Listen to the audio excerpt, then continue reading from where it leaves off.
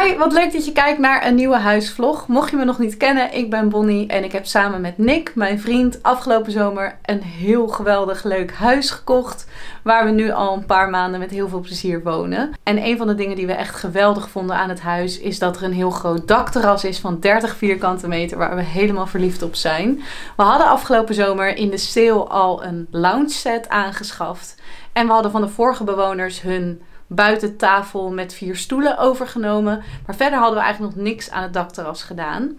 Laatst was ik aan het vloggen dat we voor het eerst weer buiten gingen zitten deze lente. Maar toen was er ook een stukje waarin ik even vertelde over onze plannen voor het dakterras. En ik heb dat even helemaal uit de vlog gelaten, want ik dacht, laat ik gewoon een speciale dakterras huisvlog maken. Misschien worden het er zelfs meerdere. Het ligt er een beetje aan wat we allemaal gaan doen en hoe lang het allemaal gaat duren. Maar jullie kunnen dus eerst even kijken naar het stukje waarin ik even vertel wat we eigenlijk van plan zijn met ons dakterras. Wat we in ieder geval van plan zijn is dat we dus die zithoek en die uh, eethoek, om het maar even zo te noemen, die willen we sowieso natuurlijk houden. We hebben deze pas net aangeschaft en dat is iets wat ik gewoon zeker wist dat ik wilde.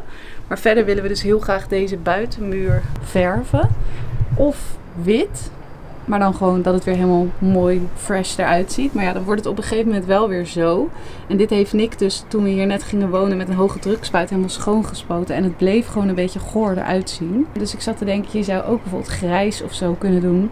Of ik zag ook op Pinterest een plaatje dat met een soort donkerblauwe muur. Dat vond ik ook wel iets heel cools hebben. Dan wil ik sowieso nog buiten verlichting. Maar daar heb ik wel eigenlijk genoeg ideeën over. Onder andere die paal daar vanaf daar wil ik naar het dak van die Love Island-achtige horeca lampjes gaan ophangen. En willen ook iets leuks doen met het lampje wat hier zit, maar dan wat mooier en zo. Dus dat ja, komt wel goed. Maar verder lijkt het mij ook heel chill voor de katten, maar ook in verband met privacy als we in ieder geval rechts en links een soort ja, schuttingje of zo neerzetten. Dus ik zit een beetje te twijfelen over echt zo, ja, zo'n soort houten schutting en hoe ik die dan het beste kan vastmaken. Maar een paar huizen verderop hebben ze bijvoorbeeld ook van die rieten schuttingen, zoals wij ook uh, in ons vorige huis hadden. Ik denk dat als je dat hier zet en hier, dat je ook al gelijk ja, helemaal een soort beschut plekje hebt. En ik weet dat de katten daar wel in kunnen klimmen, maar ja, in ons vorige huis deden ze dat eigenlijk niet. Dus dat zou ook nog kunnen. En dan de voorkant gewoon zo laten. En natuurlijk lijkt het me ook leuk om het echt gezellig aan te kleden. Met leuke plantjes. En ik wil leuke kaarsjes. En zeg maar die accessoires en zo. Dat komt allemaal wel goed. Maar ja, ik zit echt een beetje met die praktische dingen zoals Doe ik dan een rieten schutting of toch een houten? En hoe maak je die dan vast als er geen palen in de grond kunnen? En daarnaast wilden we ook nog heel graag iets waar we onze loungekussens die op die bank liggen in konden opbergen. En uh, ja, we willen dus die muur verven, we willen het leuk versieren. Er zijn eigenlijk gewoon heel veel dingen die we willen doen aan het dakterras. Echt zoveel dat het een beetje onoverzichtelijk werd. Dus we hebben nagedacht van welke twee dingen hebben nou het meeste haast voor ons? Of waar willen we echt mee beginnen? En die twee dingen zijn dat we dus iets willen waar we die kussens in kunnen opbergen. Want dat is iets waar we nu al de hele tijd tegenaan lopen. En dat we het een beetje beschut slash catproof willen maken. Want onze katten vinden het heerlijk om buiten te liggen. In ons vorige huis lagen ze de hele tijd op het balkon. Maar wij willen niet dat ze gelijk naar allemaal andere dakterrassen gaan en dat we ze helemaal kwijtraken. Dus eigenlijk willen we gewoon het liefst dat ze op ons dakterras blijven. Nou weet ik niet zeker of dat gaat lukken, maar we kunnen het altijd proberen met een soort schutting die we willen maken. En ik denk dat het ook heel goed is om ze pas naar buiten te laten wanneer die schutting staat. Want dan weten ze ook niet wat er aan de andere kant van die schutting is. Terwijl als we ze nu al naar buiten laten en ze zien hoe ver het doorloopt, dan denk ik dat ze eerder geneigd zijn, wanneer de schutting er eenmaal is, om daar overheen te willen springen. Dus tot nu toe mogen de katten nog niet naar buiten, dus dat heeft ook behoorlijk haast. Dus de plek voor de loungekussens en de schuttingen zijn de twee dingen die je in ieder geval in deze vlog kan zien. Om te beginnen de loungekussens. Het is nu dinsdag 6 uur en ik ben om half vijf gestopt met werken en toen lekker op de loungebank gaan zitten. En toen heb ik alle kussens weer door het raam naar binnen gedaan. Die kussens nemen superveel ruimte in in de kast die Nick gebruikt voor zijn kleding. Dus er is één soort van hoog gedeelte, daarin staan de hoogste kussens. En dan tussen allerlei planken met niks kleren bewaren we nu al deze kussens. Want die ja, zijn echt super groot. En hier hebben we er echt zeven of zo van. Dus het is niet ideaal en we willen gewoon een oplossing waar we de kussens laten. We hebben al bedacht dat we ze tijdens de herfst en winter, wanneer je daar niet zit, wel gewoon echt naar binnen gaan halen. Wat we ook kopen. En dan leggen we ze in het luik in onze eetkamer. Dat is gewoon een kwestie van één keer alles erin stoppen en haal je het in het voorjaar weer eruit. En dan blijven ze gewoon helemaal mooi en netjes. Maar we willen gewoon in de lente en zomer ze heel makkelijk kunnen opbergen en weer tevoorschijn kunnen halen. Dus ik heb me een beetje zitten verdiepen in opbergmanieren voor je loungekussens. dit klinkt zo. Uh, als ik dit tien jaar geleden had gehoord, dat, dat dat is waar ik me over tien jaar mee bezig hield, zou ik echt denken: wat? Maar goed, ik vind het best wel leuk om het uit te zoeken. Optie 1 is volgens mij dat je gedurende de zomer gewoon een zeil over je lounge set plus kussens heen gooit en die haal je er ochtends weer af. Uh, ik heb van meerdere mensen gehoord die dat wel eens hebben gedaan. Dat je kussens dan alsnog een beetje klam en muf worden. En wij willen gewoon heel lang met deze lounge set doen. Dus dat ga ik niet doen. Dan is de tweede optie dat je echt een soort schuurtje of huisje neerzet. Een aantal buren hebben zo'n huisje op het dakterras. Maar ja, wij hebben verder niet echt dingen die we hier bewaren. En het neemt best wel veel ruimte in beslag. En om nou helemaal zo'n huisje te bouwen voor je lounge set kussens is natuurlijk ook een beetje overdreven. En best wel duur. Dus dat willen we ook niet doen. Dus dan blijft de optie over om een opbergbox te kopen. Nou zijn die dingen allemaal best wel lelijk. Maar ja, daar ontkom je niet echt aan. En je kan ze natuurlijk achter de bank of zo zetten. Maar ik ben nu aan het meten. Ik zit hier met alle kussens. Dus ik heb even gekeken van hoe zou je ze nou in zo'n box leggen. En um, eigenlijk zie je dus gelijk al. Dan moet die box dus minimaal de lengte hebben van het grote kussen. En ook de breedte. En de hoogte ja, moet ik een beetje bepalen door dit dan neer te leggen hoe het dan in de box zou liggen. Maar ik had hier echt niet over nagedacht toen we die bank kochten dat, dat er zoveel kussens zijn. Sjaak, ik ga even stapelen. Is dat goed? Dank je. Oh, ik heb trouwens ook nog gekeken wat er gebeurt als ik deze hier doe. Maar dan wordt het geheel nog langer. Uh, want blijkbaar zijn twee van die halve kussens samen, ook als je hem een kwartslag draait, langer dan het onderste kussen. I don't know why. Maar dit zou ik dan dus zo doen. En dan heb je bijvoorbeeld hier een kussen. Dit is toch niet normaal? Dit is echt gewoon... Dit is bijna zo'n huisje. Zo kan je het nog iets beter zien. De binnenkant moet 1,35 zijn. Ik schrijf het even op. En dan is de diepte 70. En de hoogte... Ja, Stel je legt deze meer zo bijvoorbeeld.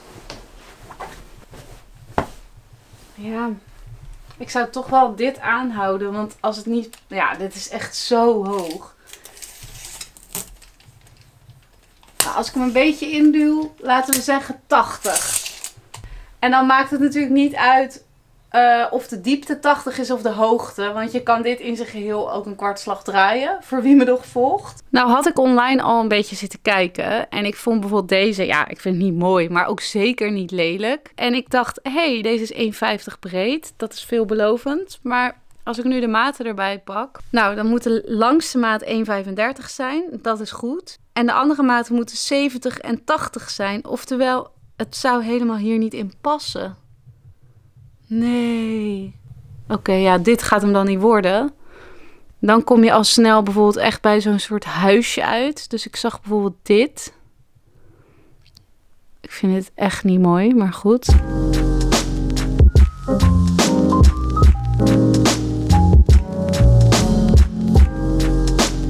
Ik merkte dus dat ik het best wel ingewikkeld vond. En dat ik het gewoon niet goed voor me kon zien hoe het in het echt werd. En ik was de dag daarna bij mijn ouders aan het werk. En toen hebben we in mijn pauze even met z'n drietjes ernaar gekeken. En dat was super nuttig. Ik kwam er niet helemaal uit, want hier zou het eigenlijk niet inpassen. Maar toen zeiden mijn ouders van je kan het natuurlijk ook gewoon diagonaal zetten. En nu waren we zo lang aan het pijnzen of het nou ging passen. Dat jullie op schaal onze kussens het bovenaanzicht gemaakt hebben. Heel goed. Wat corona met mensen kan doen. en wat is de conclusie? Vast. De twee hele grote kussens diagonaal. Maar dus die staan allemaal zo op de vloer? 70 centimeter omhoog. En dan die twee andere lange daar. Hier drie en hier pas ook En dan daarbovenop komen dan nog plat de andere drie kussens te liggen? Ja. Je kan zelfs als je alleen dit neemt, dit tot 70 is dan ook, kunnen jullie er ook nog gaan slapen en dan kan je zo die deksel dicht Maar dan kunt niet die laatste erin. Nee, dat dat gaat dan niet. Nou, het wordt nog erger. We hadden net besloten dat het past. En toen gingen we aan de hand van de aanrecht van mijn ouders meten hoe het eruit zou zien als ik die bak zou bestellen. Nou, dat was echt afschuwelijk. Kijk, dit is gewoon 1,21 hoog. Dat is gewoon een gigantisch lelijke kast op je dakterras. Dus toen dachten we, moet ik niet toch een soort kast of een huisje? En toen zijn we uiteindelijk bij Voorlopig. Voorlopig is nu het idee dat dit het dan wordt. Een houten tuinkast. En nu heeft mijn vader de kast eigenlijk nagebouwd met blokjes. Eh, het vooraanzicht. Dus als je de deur open doet, zie je dit. En dan past het. En dat ziet er een beetje leuk uit. Ja, dit ziet er veel leuker uit. Die kast heb ik dus besteld en hij is inmiddels binnen. Hij bestaat uit twee delen. En mijn ouders die hebben net geappt dat ze woensdag de kast in elkaar willen zetten voor ons. Super chill. Dus daar kunnen jullie nu alvast naar kijken. Dan weten jullie hoe het is afgelopen met de kast. En of het allemaal past. Ik hoop het. Hallo ouders. Oh, Hey. kijk, Het dak. het dak. Jullie eh, wilden hem wel in elkaar zetten na al dat meten. Ja, maar ik zie maar één zijkant, hè? We hebben nog een doos. Oh, gelukkig. Zijn dit de deurtjes? Ja, best mooi, toch? Ja, maar die zijn toch heel laag? Klopt de maat niet? Nou, dat, dit kussen past er toch helemaal niet in? Al die uren meten. Beetje wringen. Want die deurtjes zijn kleiner dan... Ik weet het niet. Je hebt, eh je hebt uiteindelijk een bestelling Hier is de gedaan. tekening. Nou, ik was even een kwartier weg. En hij staat al. Nou, Maar we kunnen dus nu even al meten. kom maar met zo'n kussen. Zo. Zo. Oh. Nou, er is nog een centimeter over, ja? Ik, eh, ik twijfel een beetje of het past, eerlijk We hebben gezegd. het toch uitgemeten? Ja, maar ik zie het nu in het echt en het ik ga het even passen. Vinden jullie het goed? Even drie minuten? Nou.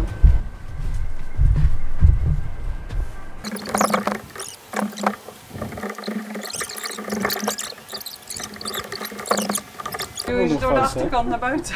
Dit is nog geen achterkant. Ja, op zich. Dit is wel hoe we het hadden gemeten, ja. Maar kijk, het steekt hier nu zo erg uit.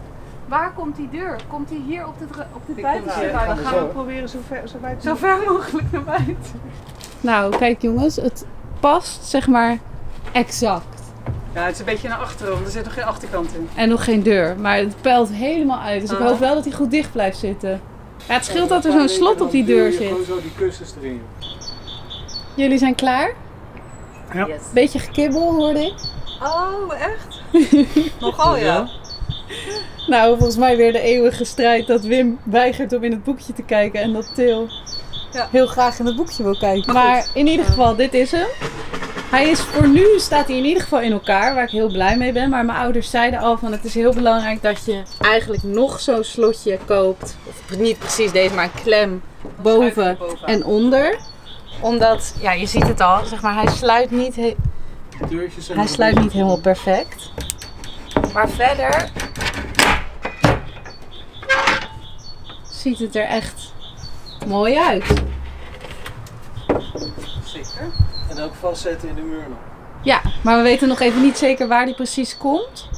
Ik kan me voorstellen misschien links van het muurtje. Dat moet ik nog even met Nick kijken. Blijkbaar kan die ook van bovenaf open. Grappig. Nee, dan moet je heel lang zijn om daar wat aan te hebben. Ja, want dan moet je hem ook omhoog houden. Terwijl je ze erin legt. Nou, bedankt. Fijn. Nou, voor nu staat hij zo. Wanneer we de definitieve plek hebben, dan gaan we hem ook vastzetten. En dan gaan we ook de kussens erin doen, want Nick wil hem ook nog gaan lakken. Maar eh, qua maat is hij echt perfect. Het is tijd voor het schuttinggedeelte van deze vlog. Wij hebben nagedacht. Wat we heel mooi vinden is gewoon zo'n classic houten schutting die je heel vaak in mensen hun tuin ziet. Maar die zet je in principe met palen echt in de grond. Dat is echt toch meer voor tuinen.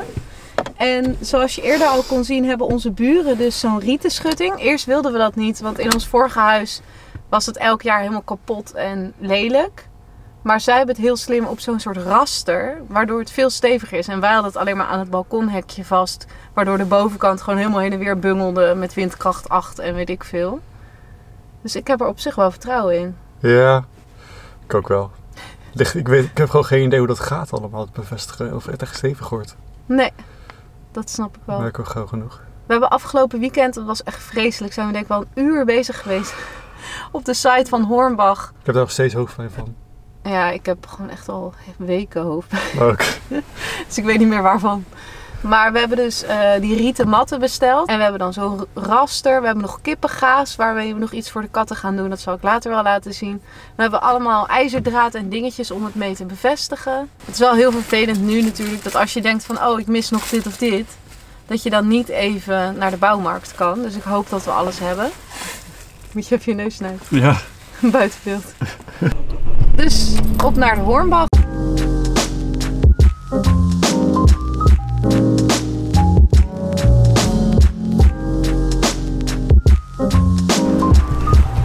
Oh mijn god jongens, kijk hoe groot. Oh.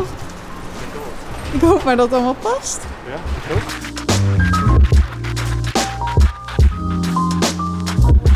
Wij zijn weer thuis en wat behoorlijk irritant is en nooit gebeurd was als we niet online hadden moeten shoppen, maar gewoon in een winkel waren, is dat het riet helemaal niet naar wens is.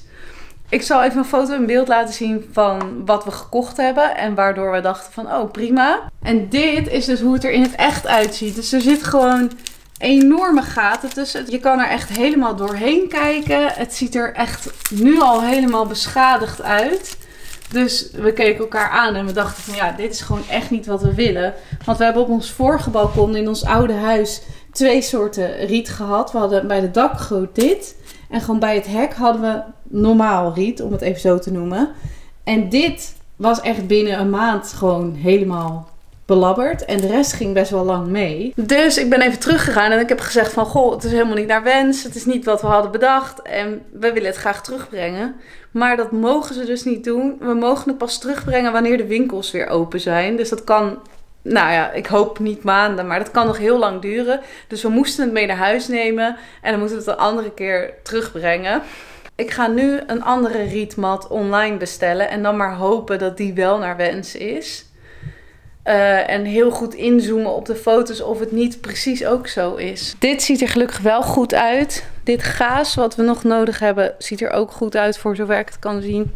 En we hadden nog een aantal verfdingetjes besteld. Nu we toch eh, bezig waren. Dit is nog voor bevestiging van de schutting. Ja, ik ga maar even online kijken. Ik kwam terecht op rietmatten.nl en daar had je allerlei verschillende soorten. En ik heb maar even gebeld en toen kreeg ik een hele aardige man aan de telefoon. Die legde uit dat extra dik niet per se betekent dat die staven dikker zijn, maar meer een bepaalde bindingswijze. Maar hij raadt mij de Rietenmat Premium aan. Dat is deze. Hij is maar ietsje duurder dan de Hornbach. Daar is hij 25 euro per rol, hier 39. We hebben twee rollen nodig. En hij zegt dat dit echt eh, een hele mooie ja, rol is. Ik hoop dat hij gelijk heeft. Nou, het zal wel. Ik ga er gelijk twee bestellen. En de andere matten, die gaan we dan terugbrengen wanneer de winkels weer open zijn. We mogen ze in de tussentijd eh, in de kelder van mijn ouders bewaren. Want het staat toch een beetje vervelend zo midden in het huis. Het heeft even geduurd, maar we hebben alle middelen en we hebben het hele plan. En vandaag gaan we een start maken aan de schutting. En het eerste wat we gaan doen is twee van deze strookjes maken. Eén voor de rechterkant, één voor de linkerkant. En daar gaan we kippengaas aan vastvlechten. Zodat als Poppy, want deze, dit voorste hek laten we gewoon hoe het is. Zij past hier doorheen. Dus stel ze gaat dan in die dakgoot lopen. Ja, ik heb het liever niet. Maar op zich als zij daar zit, van mij mag ze. Maar ik wil natuurlijk niet dat ze via hier naar al die andere dakgoten gaat. Dus we gaan achter het hek dit raster vastmaken. En daar gaan we dus kippengaas aan vastmaken. Ook wat aan de onderkant een beetje uitsteekt. Zodat die dakgoot eigenlijk geblokkeerd is.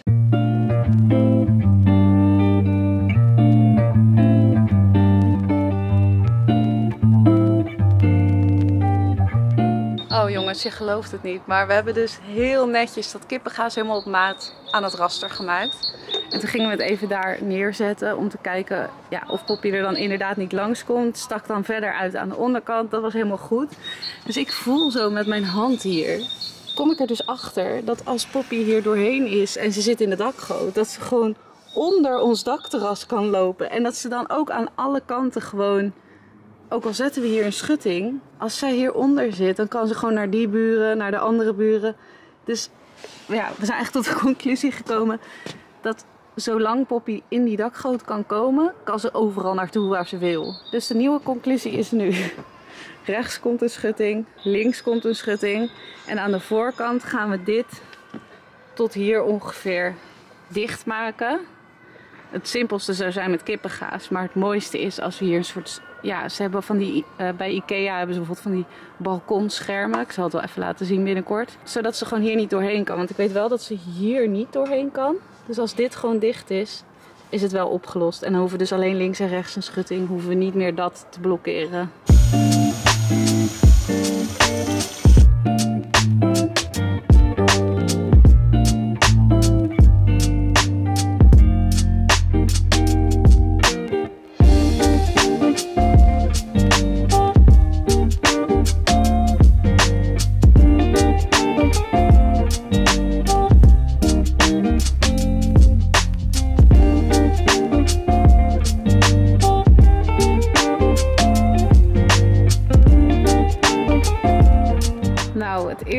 Rooster, raster zit. Het zit heel erg stevig vast. Het zit dus aan de muur vast. Het zit aan elkaar. Het zit aan deze paal. Het zit aan het hek. En het is echt ja, gewoon heel stevig. Zoiets stevigs gebouwd. Het Ja, het enige is echt goed. is dat, maar het bubbelt hier een beetje. Ja, Maar hooguit gaat een beetje heen en weer de wind, maar het gaat niet helemaal. nee. Het is echt heel stevig. Ehm, we stoppen even voor vandaag. Wat een project. Deze vlog duurt ook uren. Ja, een fucking Hij- hek. Hij begint volgens mij in februari, hè, deze vlog. Met dat idee. Ja, het begint helemaal met die tuinkussens en zo. Oh. En die kast en dat meten. Dit, het wordt wel leuk. Ja, het wordt echt vreselijk. Ik hoop dat jullie het leuk vinden, jongens. Doe een duimpje omhoog als je ben ervan ik twee keer naar geniet. de kapper geweest. Het is het volgende weekend. We hebben vandaag weer een paar uurtjes de tijd om verder te gaan. In de tussentijd hebben we nog zo'n 200 tie wraps gekocht. Want die zijn gewoon heel handig om die eh, rekken zeg maar, aan elkaar te bevestigen. En aan het bestaande hek op de plekken waar je niet kan boren. En Nick heeft een bestelling bij Ikea opgehaald. eh, namelijk drie van dit soort ja, balkonschermen zijn het. Die willen we dan door de spijlen van het hek aan de voorkant doen. We hadden er drie nodig, want ze zijn 2,50 breed, maar ons dakterras is 6,50 breed. Dus dit gaan we sowieso vandaag doen. En dan gaan we verder met de hekken en de schutting.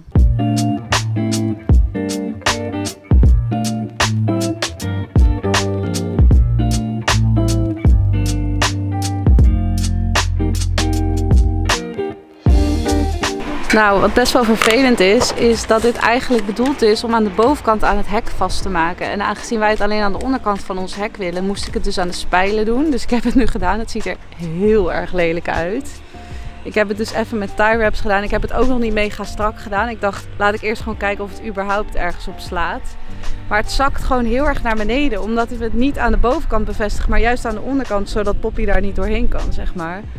Dus ja, ik denk eigenlijk dat we wel kunnen concluderen dat dit eigenlijk niet is wat we nodig hebben. Dit is meer handig als je een hek hebt dat tot hier komt en dat je het dan gewoon netjes aan de bovenkant vastmaakt, want dit slaat eigenlijk echt nergens op. Dus ik ga het er weer afhalen. Dan gaan we het terugbrengen. En ik zit erover te denken om dan maar toch een soort kippengaas hieronder gewoon te doen. Dat kan ik eventueel aan de achterkant doen, dan ziet het er netter uit. Zodat Poppy er niet doorheen gaat. En Nick is aan de linkerkant bezig om dit eh, in de muur vast te zetten, dit raster.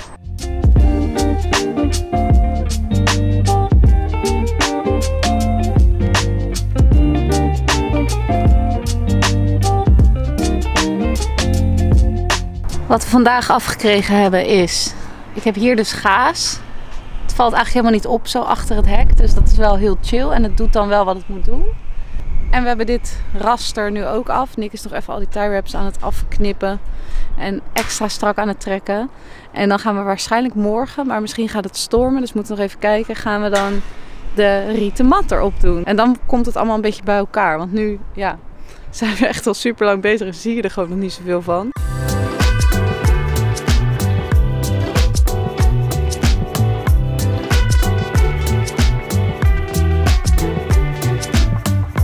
Een nieuwe update. Dit heb ik samen met Nick gemaakt. Het was heel erg aan het stormen. We waren best wel aan het kibbelen. Het was niet echt leuk om te doen. En het duurde ook echt een paar uur lang. Ik heb op het dakterras aan de andere kant gestaan.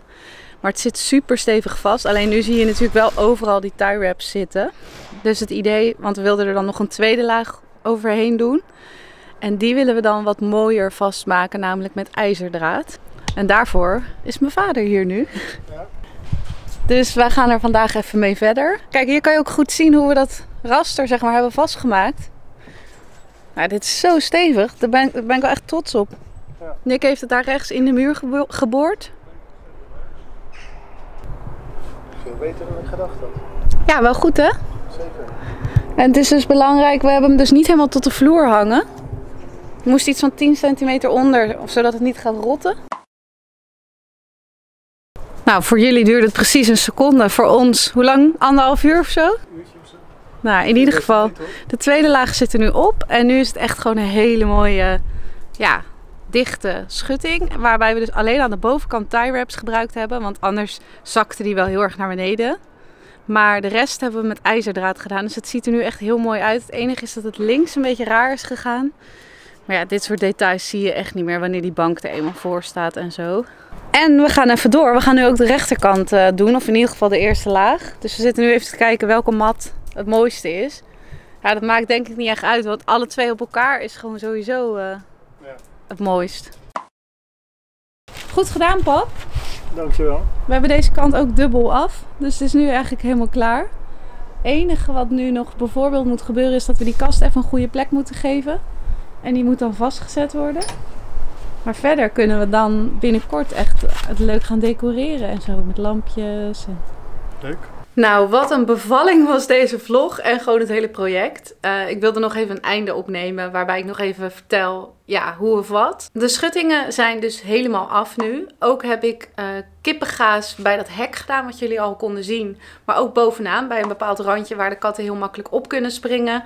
Dat is ook gewoon helemaal catproof. Dus ik zal jullie heel snel in de vlog laten zien dat de katten dan voor het eerst naar buiten gaan. Daar kijk ik heel erg naar uit. En verder zal ik wel weer gewoon doorfilmen voor een tweede deel van het dakterras. Dus waar we nu mee aan de slag gaan is dat we die tuinkast gaan lakken. We gaan die tuinkast ook vastzetten. We gaan de gevel een kleur geven. We zijn nog even aan het twijfelen. Maar ik zal even een plaatje in beeld laten zien van een eh, dakterras in Marrakesh. Wat ik zo mooi vind. Waardoor ik helemaal dacht van... Oh, moeten we niet iets met terracotta oranje-achtig doen? Dus daar zijn we nu een beetje naar aan het kijken. En zoals ik al zei, willen we dus aan de slag gaan met verlichting en met lampjes. We willen misschien ook een parasol kopen. We willen het gewoon echt heel gezellig gaan maken. Ik denk dat het het vervelende gedeelte nu achter de rug is. En dat we nu dus echt met de leuke dingen aan de slag kunnen gaan. Dus ik hoop dat jullie het leuk vonden om deze video te zien. Zondag kunnen jullie een hele leuke video verwachten over tweedehands kleding die ik ga ruilen. Dus ik hoop dat jullie daar naar uitkijken. Doe even een duimpje omhoog als je het vermakelijk vond. Sorry als je het een beetje lang vond, maar ik eh, kon het echt niet korter maken. Ik had zoveel materiaal gefilmd hiervoor. Terwijl ik echt denk van waar gaat het nou eigenlijk over? Maar ja, ik heb het maar gewoon een beetje flitsend geprobeerd te editen voor jullie. Dus hopelijk was het leuk. En ik zie jullie zondag weer. Doei!